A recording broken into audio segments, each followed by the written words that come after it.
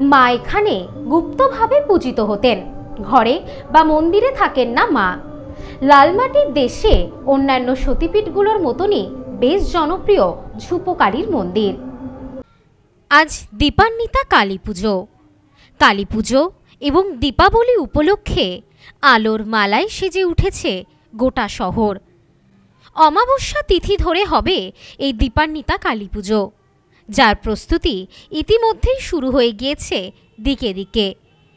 কালী পুজো উপলক্ষে বীরভূমের কালী মন্দিরগুলিতেও ভিড় উপচে পড়েছে দর্শনার্থীদের, যার মধ্যে অন্যতম বীরভূমের বক্রেশ্বরের ঝুপো কালীর মন্দির।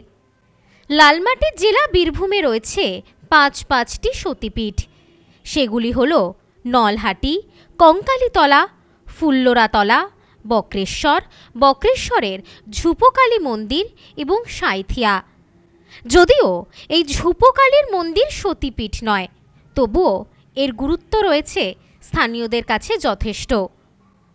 আজ দিকে দিকে আয়োজন হচ্ছে দীপান্বিতা কালী পুজোর। এই দীপান্বিতা কালী পুজো শ্যামা পুজো, আবার মহানিশা পুজো নামেও পরিচিত। বীরভূমের অন্যান্য জায়গার পুজোগুলি সম্পর্কে মানুষ জানলেও এই বক্রেশ্বরের ঝুপোকালী মন্দির সম্পর্কে হয়তো অনেকেই জানেন না। জানা যায় বীরভূমের বক্রেশ্বরের ঝুপোকালী মন্দিরের পুজো প্রায় একশো কুড়ি বছর ধরে হয়ে আসছে। দেবী এখানে গুপ্তভাবে পূজিত হতেন। শ্মশানকালী রূপে বছরের পর বছর ধরে পূজিত হয়ে আসছেন দেবী। স্থানীয়দের বিশ্বাস অনুযায়ী এই দেবী খুবই জাগ্রত। প্রতি বছর কার্তিক মাসের অমাবস্যা তিথিতে জাঁকজমকভাবে আয়োজন করা হয় এই পুজোর। বহু দূর দূরান্ত থেকে ভক্তেরা আসেন দেবীর আরাধনা করতে। এছাড়াও প্রতি অমাবস্যা শনি এবং মঙ্গলবারে বহু মানুষ আসেন বক্রেশ্বরের ঝুপোকালী মন্দিরে। এই বিষয়ে মন্দিরের এক পুরোহিত জানান, একশো কুড়ি বছর ধরে এখানে বক্রেশ্বরের ঝুপোকালী মন্দিরে বিরাজ করেন মা। পূর্বে গুপ্তভাবে পূজিত হতেন। দেবী, পরবর্তীতে এখানে শ্মশানকালী রূপে পুজো করা হয়। এই দীপান্বিতা কালী পুজোয় জাঁকজমকভাবে দেবীর পুজোর আয়োজন করা হয়। সকাল থেকে পুজোর প্রস্তুতি শুরু হয়ে গিয়েছে। এই বিষয়ে তিনি আরও জানান।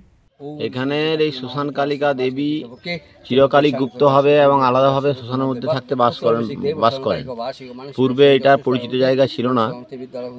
পার্শ্ববর্তী তাঁতিপাড়া দাসপাড়ার মেয়েরা এখানে যে কালীদহ নিচে যে নদীর নাদে গর্ত আছে সেই কালীদহে মাছ ধরতে এসে পায়ের মধ্যে স্পর্শ পেয়ে মায়ের দেখা পান। তারপরে এখান থেকে মাকে এখানে প্রতিষ্ঠা করা হয়। প্রথমে মাটির বেদিতে মা ছিলেন। তারপর পরবর্তীকালে ভক্তদের অনুদানে বাঁধানো হয়েছে। কিন্তু মা গৃহ বা ঘর চান না বলেই ঘর করানোর সাহসকে দেখাতে পারে নাই। এই মায়ের মূর্তি করেও পুজো হয় দাসপাড়া গ্রামে যারা পেয়েছিল তাদের কাছে।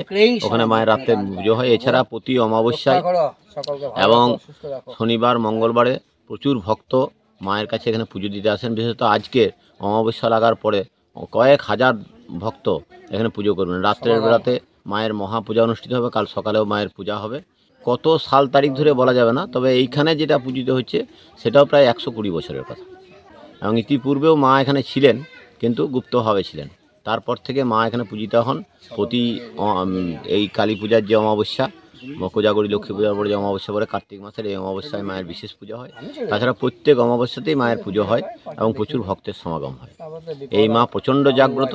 যারা একবার এসছেন তারা জানেন এবং এটা বিরাট একটা সাধন বড় বড় মহাত্মা, বহু মহাত্মা এখানে দীর্ঘদিন ধরে সাধন করেছেন। তারপর থেকে এক কথায় বলতে গেলে বীরভূমের অন্যান্য সতীপীঠের মতো বক্রেশ্বরের ঝুপোকালীর মন্দিরের যথেষ্ট মাহাত্ম্য রয়েছে। বহু দূর দূরান্ত থেকে ভক্তেরা ছুটে আসেন মায়ের আরাধনা করতে। Bureau report, news snowman's land Birbhum. বাঙালির সেরা উৎসব দুর্গাপুজো, একেবারে দোরগোড়ায়। তাই তো সেজে উঠেছে আদি মোহিনী মোহন কাঞ্জিলাল। নতুন নতুন কালেকশনে সাজাবো গোটা পরিবারকে। আর তাই তো সেজে উঠেছে আমাদের বনগা শাখা। শিমুলতলার মোড়, যশোর রোড আদি মোহিনী মোহন কাঞ্জিলাল